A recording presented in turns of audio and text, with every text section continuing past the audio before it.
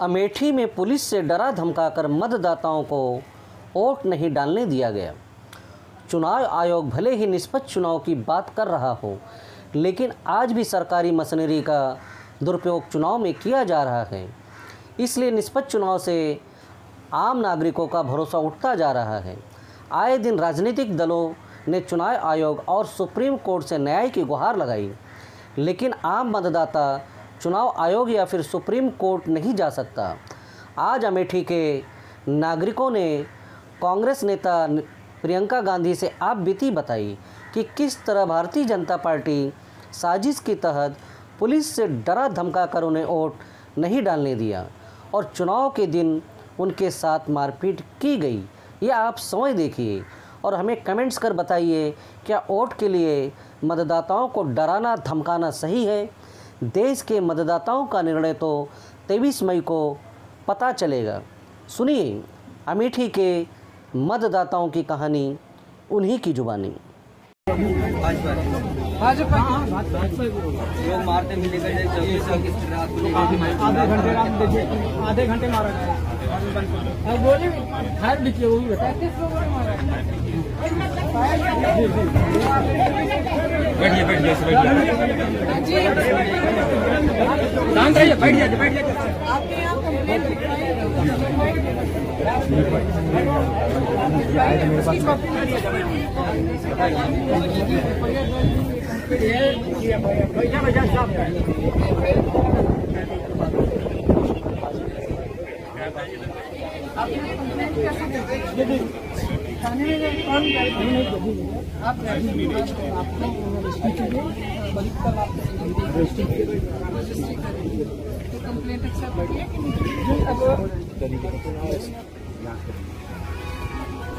उसके बाद यहाँ भाई किससे तोड़े इनके चौकी चार्ज चौकी चौकी चार्ज गाली दे रहे धोखा तो यार हेरे परत मन मन में आके चलो। उस दिन वोट नहीं देने दिया गया है जो है। वहाँ से मार दबा दिया गया लोगों को उधर ही लड़कियाँ लोगों को सब लेडीज़ जेंट्स सब लौट आए हैं देखिए।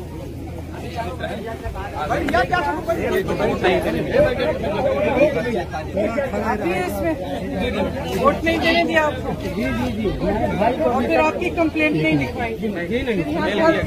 किसने वो गाड़ी गाड़ी मोटरसाइकिल महिला पुलिस घर का घर में घुसे घर वाले वोट देने जा रहे हैं तो वहाँ से लगा लात लात से ही मारे मैडम ये निष्पक्ष कैसे हुआ निष्पक्ष कैसे हुआ ये ये जाँच फिर निष्पक्ष कैसे हुई जब यहाँ की सब हमारे लोगों की सुनी नहीं सुनी नहीं तो नंबर डायल किया फ़ोन से दौड़ रहे मैडम अभी सुल्तानपुर ठीक है। हम ऐसे करते हैं ये हमने हम कुछ पिकअप करेंगे एफ़ आई आर वगैरह।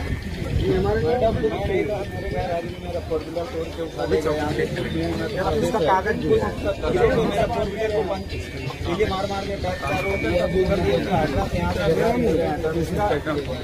पेपर जो है मैडम पिछली बार भी मेरे लगे थे मारे और इतना कागज़ मेरे पास में का फैक्स भेजा था आज तक मेरी सुनवाई नहीं यहाँ मतलब हर जगह मैंने पूरा कागज़ रखा है वही लोग मारे थे और कल भी जो है मैं दवा के लिए उस दिन इलेक्शन देने जा रहा था मुझे भी रास्ते में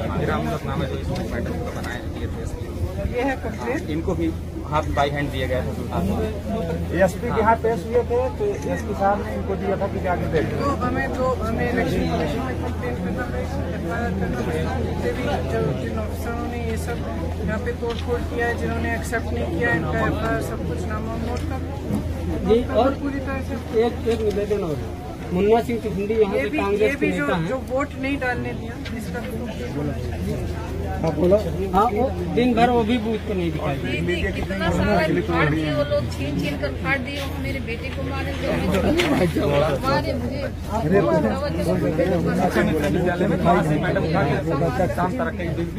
एक आदमी बात करो एक एक आदमी। हम भिड़े तो के लिए पोलिंग के दिन के वही अगले दिन चाचा की दुकान और वो लोग एफ़ दबाव में लिखवा दिए हैं कि लड़के लूट के किसी ऐसे दिखा रहे हैं अरे कितना आदमी वोट ऐसे ही पड़ गया को कोई गया नहीं गए धमकी दे रहे थे अपने बेटे को बुलाइए अरे भाई माँ लड़की देख गए है बहन तुम्हारा हो फिर हम चले जाएँगे तो फिर से धमकाएँगे मेरे गाँव का कोई भी आदमी रोड पे नहीं जा सकता सुरक्षित है। ये नहीं मुन्ना सिंह वाली बात मुन्ना सिंह आपको मालूम है मालूम है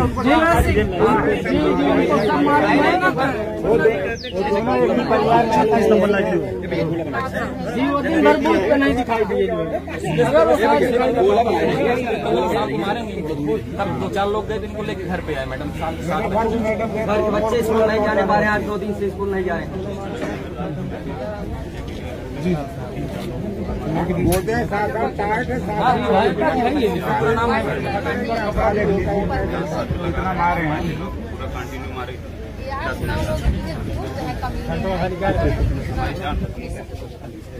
करीब पाँच सात लोग तो जो एक आदमी को दस आदमी मैडम कुल मिला के की जैसा कहें वैसे करें। मैडम यही इनकी औकात नहीं कि एफ़ आई आर भी लिखा थाने पे जाने की औकात नहीं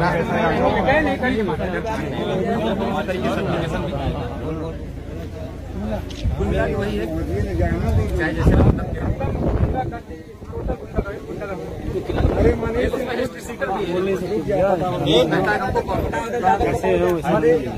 खुद हमारी लड़की से नहीं वोट वोट होता है वोट भाग जाओ यहाँ से लड़की दे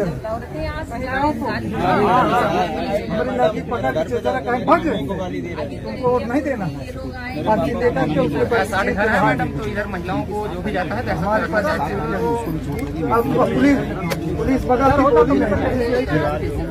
नहीं क्या है चलिए यार एक मैडम ये और रिक्वेस्ट हमारे लोग ठंडी से किसी तरीके से हमारा बूथ अलग नहीं तो हर साल हर सीज़न में ऐसे होता है तो लोग चालीस वोट हम लोगों पुराने कांग्रेस हमारे डेढ़ सौ वोट का है निगम साहब हमारे बारह वोटों बजे गिरता है उसके बाद कोई वोट नहीं हमारे तरफ़ यही है गाड़ी देख लीजिए आप लोग वहाँ से तोड़ फोड़ के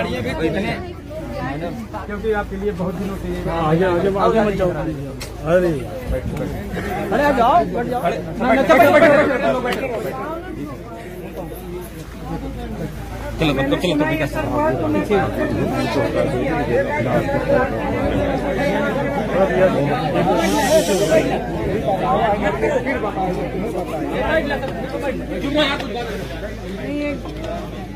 we have to take some proper but not in a way that after we leave here then again they harass them. So we have to we have, we have to figure it out.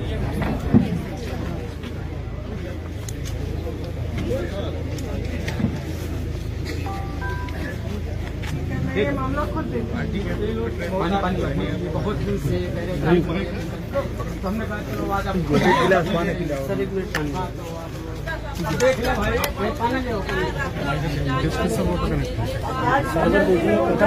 Remote पे बोल दिया मैंने बोला मैंने भी बोल दिया mic थोड़ा आइए ना आवाज़ आनी चाहिए मुँह को मत लगाइएगा